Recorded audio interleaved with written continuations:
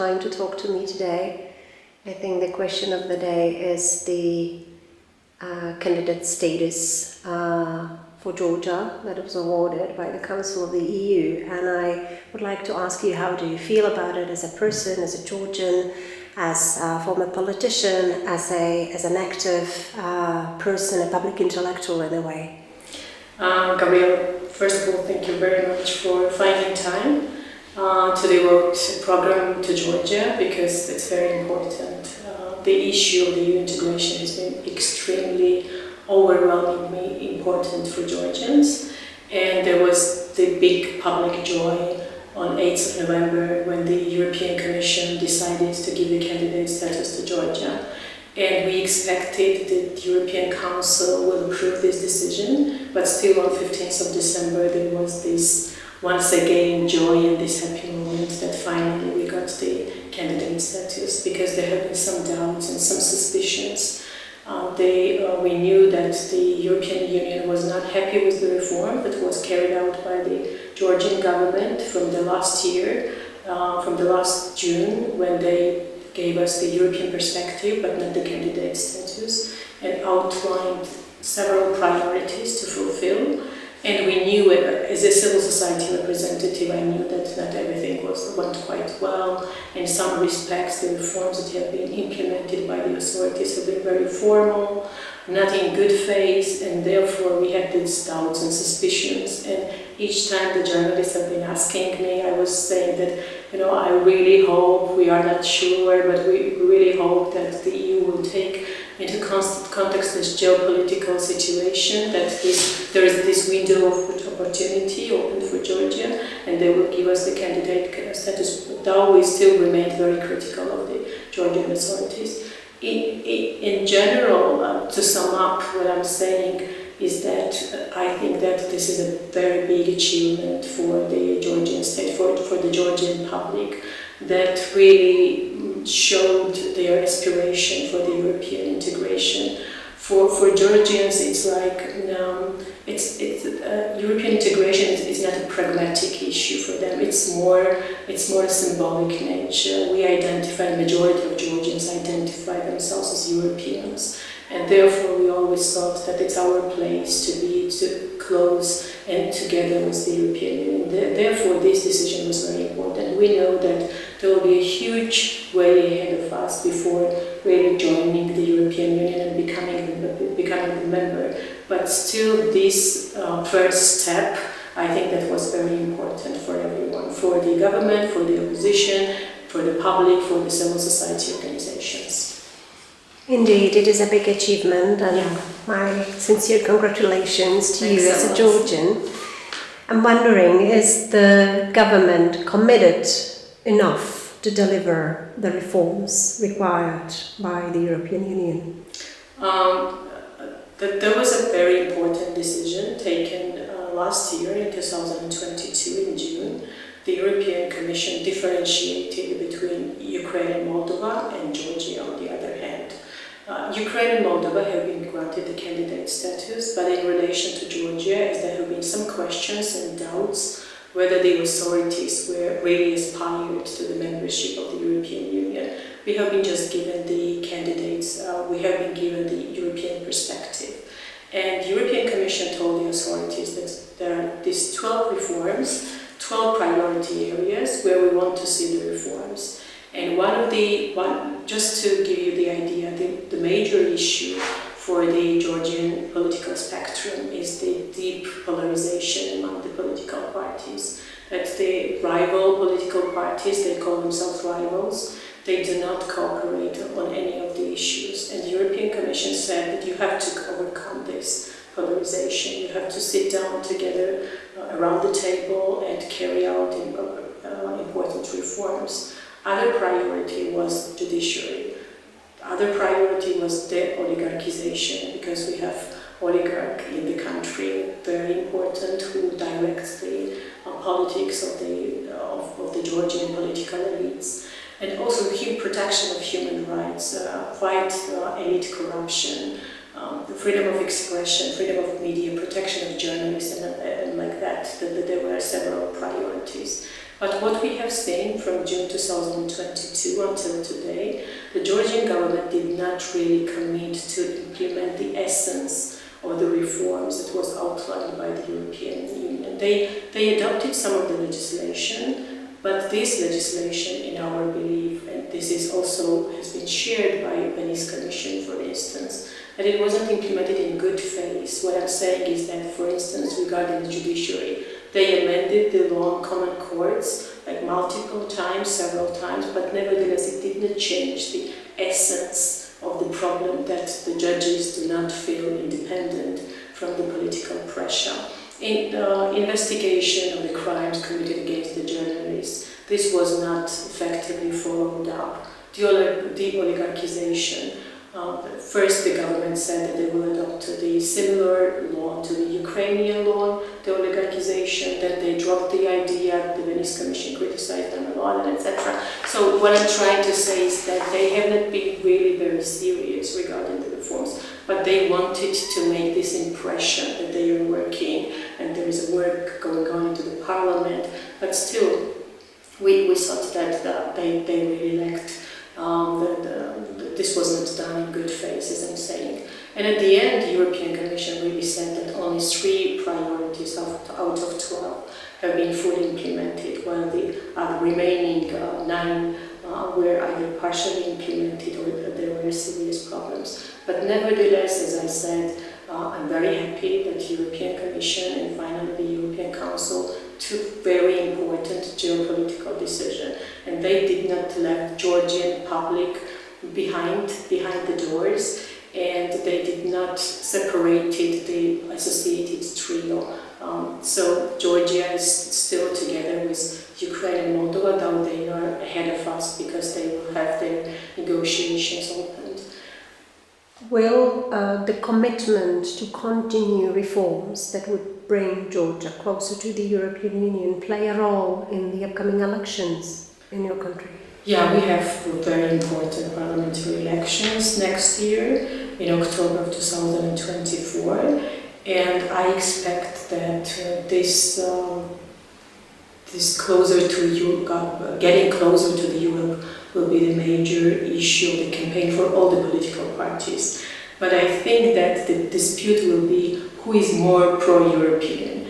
Um, well, there have been some doubts about the genuine European aspiration of the ruling party. It was voiced not only from the civil society but also from the European Commission. And what I mean under that, uh, for instance, Georgia has resumed flights with Russia, while we know that European Union closed their space for Russian airplanes. Still, this year, against this background of an ongoing aggressive war of Russia against Ukraine, Georgian authorities took the decision to resume direct flights from Georgia to Russia, and it was uh, Europeans were left like really surprised by that decision. Also, um, the, for instance, there was a huge, huge topic for the civil society organizations when the authorities uh, started initiation of the draft law on foreign agents. This is very typical Russian law that was aimed against the civil society organizations in Georgia. Uh, this was done this March or this year, and uh, there was a huge criticism coming from the European Commission, and I know from the very highest, high-level European officials telling to the Georgian officials that if they will adopt the law, this will be the nail in the coffin of the Georgia's European um, aspirations. But nevertheless, the parliament proceeded and they adopted the law with the draft law was the first hearing, and it was only after the very huge public protest that the government withdrew the draft. So these were the questions that actually made us think that the government at some point was sabotaging the process of the European integration. And there were really questions regarding the genuinity of the aspirations of the Georgian authorities. But at the end of the day, we have the candidate status, and the government of Georgia still can benefit from it. They can say that, um, well, we did enough, uh, and it was us who secured the candidate status for the Georgian public. It's not like that. And you can, you can feel that even in the public statements from the EU Commissioner, uh, the President of the European Council, who, who said that uh, the, uh, the uh, genuine aspirations of the Georgian public, genuine European aspirations, should be mirrored by the Georgian authorities. So I think that this was a very direct hint that uh, when taking the decision on granting the status um, to, to Georgia, European Commission was thinking about the genuine aspiration of the Georgian public to become a member of the EU, and they have been by this critical of the Georgian authorities. But nevertheless, what I'm trying to say that the government will still benefit in the pre-election campaign with the fact that we finally got the candidate status, and the rivalry will be about who is more pro-European. And I think for the Georgian opposition, it's very important to demand the implementation, genuine and in good faith implementation of the priorities that were outlined by the European Commission, to demand the reforms to, study, to that extent that the negotiations are opened uh, for Georgia uh, on the way to the European integration. So there, there will be this you know, for, for all the parties showing that I'm more pro-European. No, I am more pro-European. Speaking of Russia, apparently uh, there is uh, a uh, conflict of interest between uh, the EU and the Western General and Russia in the entire region uh, of Eastern Europe and South Caucasus. Uh, what is actually the relationship between the Georgian government and Russia? Uh, well, it's very difficult to sum up in very short, but I will try just to illustrate that after the August 2008 war between Georgia and Russia, when Russia attacked Georgia on our territory, um, the, the, the, diplomatic relationships have, there, there are no diplomatic relationships between the two countries. But after the um, change of the authorities from 2012, uh, at the beginning when we had the coalition government or the Georgian Dream together with other Western, uh, Western-oriented countries, there was a, there was a decision I think taken that to to make um, the cooperation with the Russians like more rational, not to be based on the like uh, hostile rhetoric, but to make it more rational. But I think that the time showed that this is not really working for, for Russia, um, I mean, if you show that you are not resisting and you are not resilient, they are trying to increase their influence by all means. And from 2020, um, we, we have the uh, ruling party still in power for how many years already? For 11 years. So it, it became more and more evident for me as ordinary citizen of Georgia that this government is more oriented towards Russia.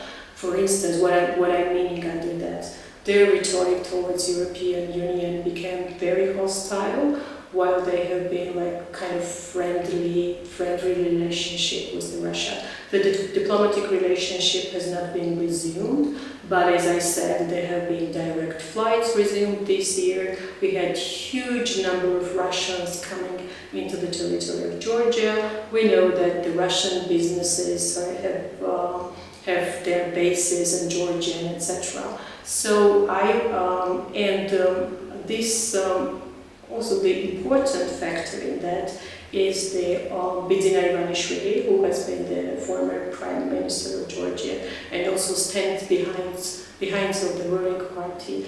Um, I think that um, uh, for Bidzina Ivanishvili it's very important to, to have good relationship with Russia because he might be afraid of his um, personal security, family security, financial security, and therefore this increases dependence of the Georgian political, ruling political elite on Russia. So this explains why we are not aligned with the EU foreign policy recommendations and directives. So this number has dropped. It's only 43%. Actually, this is one of the priority outlined for, by the European Commission towards Georgia that this alignment should be increased and things like that. So I think the dependency on Russia has somehow increased during the last years.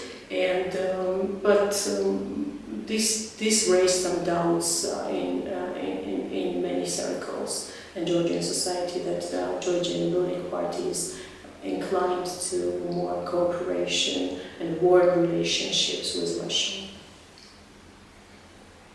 My last question uh, is uh, a friendly one. Like in my country, after more than 30 years, uh, we regained uh, democracy. When we look back, uh, sometimes uh, you feel disappointment. We de- definitely thought in 1990 that we would be we would be much further than that in 30 years. How does it feel for you as a Georgian? Uh, you know, do, do you think, what do you think, you know, went wrong after you regained independence? What, uh, but perhaps, you know, you, you think uh, it's, uh, it's still like positive. So how do you feel about the 30 years, past 30 years that Georgia was struggling to build, to transition to democracy and to build a solid, open, liberal uh, political system?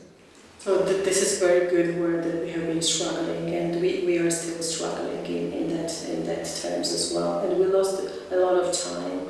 We lost a lot of time. We had we had internal conflicts. We have two occupied territories occupied by Russia, Abkhazia and South Ossetia, and we have this uh, frozen conflict in our territory. We also had inter- internal fights with it with each other. And we have very bad economic situation, poverty um, for, for, for many years. Uh, there have been some positive changes, of course. And uh, but what was the decisive factor for for majority of Georgians that we wanted to move the, into the direction of the EU? We we do not want to see ourselves as a back backyard of Russia and we do not want to, to remain to, to be in this sphere of influence of Russia. So we feel as Georgians that we belong to Europe. It, it, it, it's a it's a like very inherited feeling in, in, majority, overwhelming majority of Georgians. We are still struggling, so there, there have been some uh, ups and downs. Um, we had we had different problems after these conflicts there was this economic stagnation. We had a huge level of corruption. And in 2003, when the government was changed, the major topic for most of the Georgians was that corruption was in every level. Um, petty corruption, high level elite corruption, like every in every level of our our lives. But um, we, we have a huge uh, achievements in that direction. There is no small level corruption anymore. Uh, so the Georgia was made made a really good name in fighting uh, and eliminating small level corruption. So we advanced in that direction. But at the same time with that, we had a, a serious problems with the protection of human rights, with the free expression of the opinion, freedom of demonstrations, and etc., freedom of judiciary, and uh, things like that. But in that direction, there could be some improvements, but we are still struggling. And, and therefore, for majority of Georgians, that's the, the, this, this uh, point, this landmark decision by the European Commission to recognize our fight, our struggle, and our aspirations towards Europe. That's why it was so much rewarding. And uh, I want to see more rapid changes, more rapid improvements. Um, and I, am really hopeful because Georgian society is such, as, as I'm witnessing and as I'm observing, has really grown up um, in terms that we are more demanding uh, to the authorities. And these demonstrations in March that I was describing, when the uh, people demonstrated against this Russian-type foreign agents law, and the majority of the demonstrators were youth, the students, and gives me hope and strength that there is this um, pledge for democracy in the Georgian Republic, and we can we can be a very good partner for the European Union and for our.